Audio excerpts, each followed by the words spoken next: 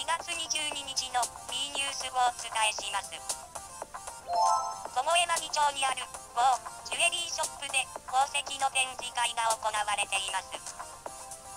会場には世界中の女性の憧れの的、桃山木ジュエリーが展示され、ジュエリーの美しさとディスプレイの素晴らしさが多くの来場者の目を楽しませています。マジ飲みに聞きました。これってそれに関しては、俺の方がよく知ってますよ。はい。2月22日のミーニュース。藤井がお伝えしました。